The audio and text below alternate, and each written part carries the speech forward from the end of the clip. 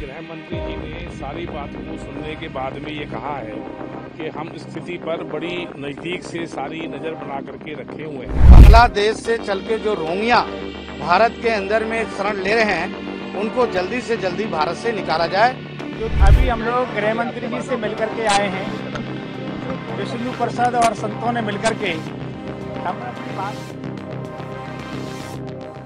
RSS और BHP के प्रतिनिधि मंडल आज दिल्ली में केंद्रीय गृह मंत्री अमित शाह से मुलाकात की और बांग्लादेश में हिंदुओं की सुरक्षा सुनिश्चित करने के मामले पर ज्ञापन सौंपा। ज्ञापन में आरएसएस बीएचपी के प्रतिनिधि मंडल ने कहा कि बांग्लादेश में सत्ता परिवर्तन होने के बाद हिंदुओं के साथ साथ दूसरे अल्पसंख्यकों के खिलाफ हिंसा और धार्मिक स्थलों पर अतिक्रमण से पूरा विश्व चिंतित है। पत्र में आगे कहा गया कि महिलाओं के साथ दुर्व्यवहार, हत्याओं और धमकियों के कारण उन्हें पलायन के लिए मजबूर किया जा रहा है। अंतर्राष्ट्रीय संस्थाओं और मानव अधिकार संगठन भी अपनी ज़िम्मेदारी निभाने में असफल रहे हैं। पूरा संत समाज इन घटनाओं से चिंतित है। इसको लेकर क्या कुछ कह रहे हैं? वहाँ पे मौजूद संत और आरएसएस और वीएचपी के कार्यकर्ता सुनिए। बांग्लादेश में हिंदुओं के साथ सरकार बदलने के बाद जो कुछ हो रहा है, वो चिंताजनक है। हमने अपनी चिंता व्यक्त की। माननीय गृह मंत्री जी ने हमारी बात बड़ी गंभीरता से सुनी है। तो मुझे लगता है कि वो जो भी उचित होगा वैसे कदम उन्होंने उठाए भी हैं, आगे भी कदम उठाएँगे। तो वहाँ पर बांग्लादेश में जिस प्रकार से गैर मुस्लिमों को जीना मुश्किल हो रहा है, उसके पर चिंता व्यक्त हमने कर दी है। और वहाँ हिंदुओं की सुरक्षा हो, या जो भी अल्पसंख्यक समुदाय है, गैर हिंदू भी हैं, उनकी भी सुरक्षा हो, मानवीय दृष्टि से सबको जीने का अधिकार है। और बांग्लादेश में जो कुछ हो रहा है, उनके नागरिक हैं। अपने नागरिकों की रक्षा करना उनका दायित्व बनता है वहाँ की सरकार का। सरकार बदली है, वहाँ के हिंदुओं को उससे कोई लेना देना नहीं है। हिंदू तब भी सरकार के और राष्ट्र के देश बांग्लादेश के साथ थे, आज भी हैं। इसलिए वहाँ मानवीय दृष्टि से हिंदुओं के साथ जो अन्याय हो रहा है, वो बंद हो, ऐसा हमने आग्रह किया, उन्होंने गंभीरता के साथ सुना। हम लोगों ने माननीय गृह मंत्री जी से मिलकर के संपूर्ण नरसंहार को रोकने के लिए कूटनीति बनाकर के दबाव बनाने के लिए कहा। उन्होंने बहुत गंभीरता से उस विषय को सुना और कहा कि हमारी सरकार पूरी तरीके से जो सजग है, वहाँ के जो नरसंहार को रोकने के लिए जो भी हम लोग उचित कार्रवाई कर सकते हैं, कदम उठा सकते हैं, वो उठाएँगे। और माननीय गृह मंत्री जी और समस्त भारत की सरकार और माननीय प्रधानमंत्री जी इस बात को लेकर बहुत चिंतनीय है। आज पूजनीय संतों का प्रतिनिधि मंडल माननीय गृह मंत्री जी के आवास पर समय लेकर के आज मिला है।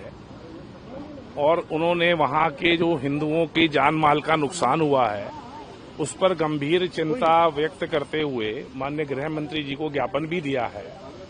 और माननीय गृह मंत्री जी ने सारी बात को सुनने के बाद में ये कहा है कि हम स्थिति पर बड़ी नज़दीक से सारी नज़र बना करके रखे हुए हैं। और जब इतना बड़ा परिवर्तन होता है तो थोड़ा बहुत नुकसान उसके अंदर ज़रूर होता है, लेकिन कोई बड़ा नुकसान हम हिंदुओं का किसी भी कीमत पर होने नहीं देंगे। हमारी सब स्थितियों परिस्थितियों पर नज़र है बांग्लादेश में शेख हसीना की सरकार गिरने के बाद हिंदुओं पर अत्याचार के काफ़ी मामले सामने आए हैं। हाल ही में यह बात भी सामने आई थी कि बांग्लादेश में हिंदुओं को सरकारी नौकरियों से इस्तीफा देने पर मजबूर किया जा रहा है। करीब लगभग 50 हिंदू शिक्षाविदों से इस्तीफा देने पर मजबूर किया गया। आगे क्या कुछ कह रहे हैं मौजूद लोग सुनिए।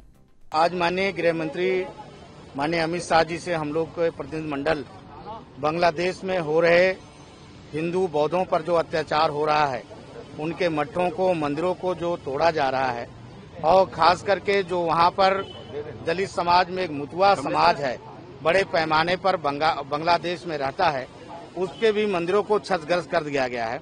आपको मालूम होगा कि हिंदुओं की संख्या 25 परसेंट थी, आज हिंदुओं की संख्या घटकर 7 परसेंट रही।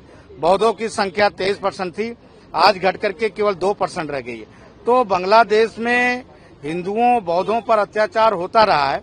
हमने माननीय गृह मंत्री जी को अवगत कराया है।